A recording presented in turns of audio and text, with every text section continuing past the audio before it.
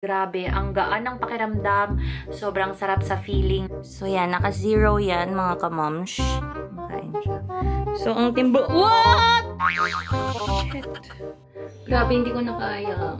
Ang lapot-lapot ko na. Nakikita nyo ba yan, guys? Grabe, oh. Hi mga kamami! It's me again, Aya, and welcome back to my channel. So for today's vlog, another sharing of experiment na naman tayo. And ewan ko ba kung aning nakain ko at ginawa ko tong video na to or ginawa ko tong experiment na to. Pero medyo natuwa naman ako sa naging resulta kaya nga ito naman sinishare ko siya sa inyo. Kung natatandaan nyo mga kamami, nag-post ako ng dalawang videos about dun sa naging resulta sa akin ng chia seeds kasi trinay ko siya for 5 days pero ay na nga walang naging resulta, 'di ba? So pinatagal ko muna siya hanggang dumating yung araw na nag 2 weeks ako sa paggamit ko ng chia seeds pero walay.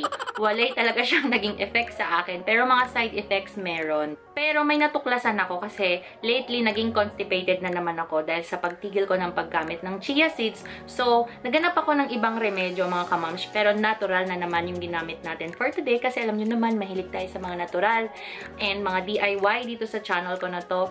So, kung gusto nyong malaman kung paano at ano yung ginawa ko, please keep on watching. Hey now, take a step outside and seize the day now. Set aside your worries, it's okay now. Itong research ko na to, mga kamamshin, medyo natuwa ako kasi nga, just in 2 hours daw, papayat ka na. So, ayan. Or magbabawas ka ng timbang. And, alam yun, parang nakakaloka, di ba? Kasi, paano daw yun, di ba? Just in 2 hours. So, parang dinaig mo yung mga nagpa-opera, mga nagpa-lipo, yung mga tipong tutunawin yung fats mo sa katawan, di ba? So, nakaka-amaze lang kasi um, I never thought, di ba, na pwede pala siya. So, ayun, mga kamams, ito yung isi-share ko sa inyo ngayong araw na to. Nasa mga kamay ko ang pinakamahiwagang ingredient natin for today sa pagpapapayat.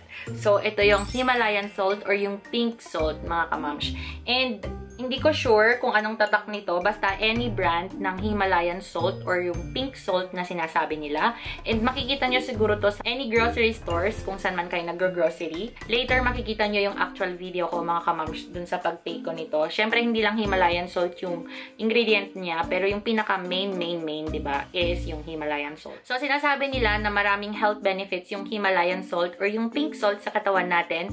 Pero yung pinaka main dito is yung pagpapabilis niya ng metabolism. But nevertheless, i-post ko na lang dyan sa screen para makita nyo yung mga benefits na binibigay niya sa katawan natin para mas mapabilis yung video natin. Ayan. Para saan ba yung saltwater flush mga kamamshi? Para to sa mga taong may bloated na tummy like me, yung tipong constipated ka, hindi ka regular na nagbabawas, and para malinis na din yung colon mo. Alam mo, matanggal yung mga toxins na nakakabit dyan sa colon nyo, ba? So, importanteng malinisan natin once in a while yung colon natin. Pero, syempre, ba, kahit na pink, blue, yellow salt yan, asin pa din yan, mga kamams.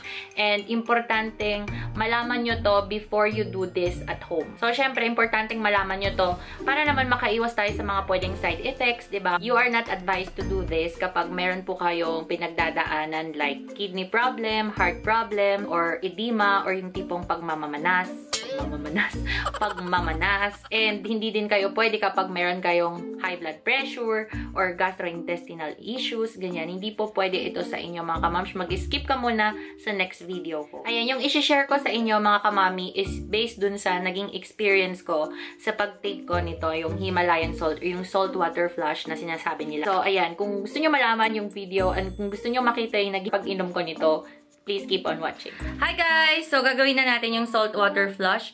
And ngayon, hindi pa ako nagbe-breakfast. So, before that, mag titimbang muna ako. So, titignan ko muna yung kung aning timbang ko. And then, saka na natin siya gagawin. And after 30 minutes daw yung effect nun. Kaya, yon Let's do this. Ayan, nakikita nyo ba? So, lalagay ko na muna dyan. And, let's turn to zero. Ano ba yan? So, yan. Naka-zero yan, mga kamamsh. Si Daddy Kaiser. Hello, Daddy Kaiser. Kain siya. So, ang timbo... What? Shit. Oh my God. So, kung nakikita niyo mga kamamsh, nasa 69 ako. Oh, no! So, hindi siya gaanong makita. Basta, So, ayan mga kamami, na kapag kilo na ako and yun nga, my God! So, kailangan ko talaga magpapayat. So, hindi advisable yung iodized salt or kahit na anong salt or rock salt, ganyan. So, hindi siya advisable. So, kailangan Celtic salt or Himalayan salt para magkaroon tayo ng flushing mamaya. So, ayan, ipapakita ko sa inyo kung paano siya gawin.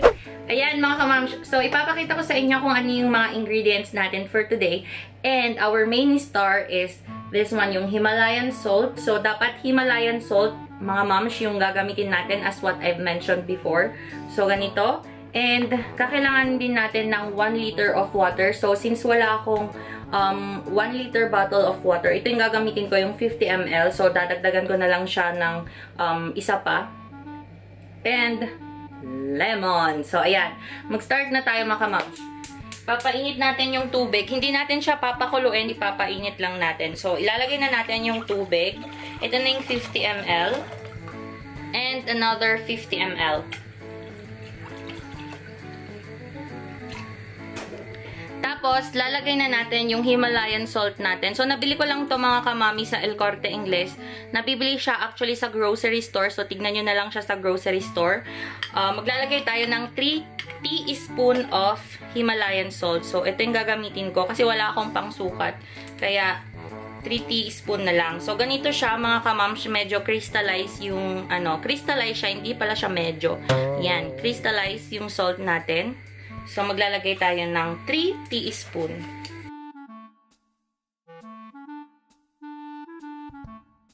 And then, hintayin na lang natin siyang matunaw doon. Hindi natin siya papakuluan, so papainitin lang natin siya.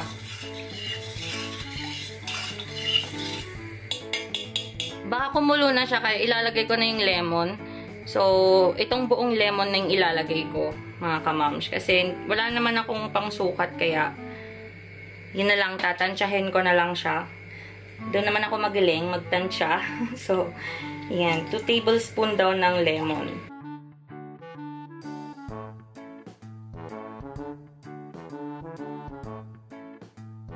So, as you can see, meron pa ding particles dyan. Hindi pa rin natutunaw. So, hintayin lang natin siyang matunaw, mga kamamshi. And, saka na natin siya papatayin dapat hindi to kumulo yung tubig kasi mawawala daw yung minerals or yung mas maraming minerals na nandun sa Himalayan salt. Kaya wag natin siyang papakuluin. So, and mag-start na ako sa first hmm, baso.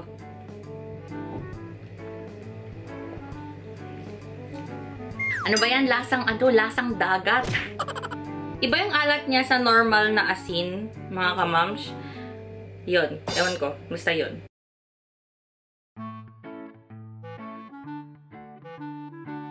My God, 1 liter to. Bayan, pinagpapawisan na ako. Actually, may nararamdaman na ako sa tiyan ko. Isang tasa pa lang ng, ano ha, ng, ng salt water yung naiinom ko. Pero medyo may nararamdaman na ako. 2,000 years later. Pangalawang tasa na. Buksan ko muna yung bintana, naiinitan na ako. Daddy, ang alat! Para akong umiinom ng dagat. Alam niyo yung pakiramdam na iniinom niyo yung ocean? Grabe, hindi ko na kaya. Ang lapot-lapot ko na nakikita niyo ba guys? Grabe, oh. Ayan, mga kamamsh, isang tasa na lang. Grabe, ang sama ng pakiramdam ko. parang, parang nasusuka ako ganun. Hindi ko pa naubos yung isang tasa, ha. Hindi ko na kaya. Ang sakit na. Ang sakit sa ano, sa lalamunan. Ba, nasusuka ako. Nasusuka ako. Ewan ko ano yung nararamdaman ko. Pwede hindi naman pala nag-record. Gadatas ko lang magsuka. 5 minutes after kong nainom nung ano, nung, nung asin, I mean, nung Himalayan salt, My God. Nagsuka ako nang nagsuka.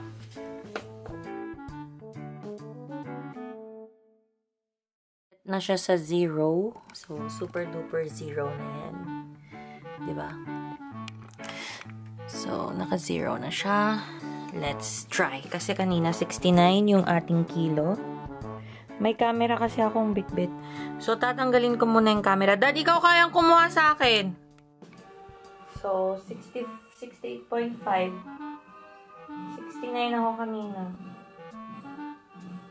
Ayan, mga kamams. So, for sure, medyo nabitin kayo dun sa video ko, ba diba? Kasi ako din, nabitin din ako sa video ko. Hindi ko na naituloy kasi sobrang nahilo na ako. After kong nagsuka, nahilo na talaga ako and nagstay na lang ako sa bed. Nanghina ako nung nagsuka ako, sa totoo lang.